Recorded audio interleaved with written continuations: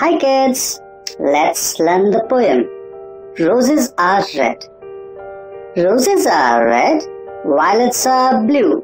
Sugar is sweet, and so are you. Come on, repeat with me. Roses are red, violets are blue.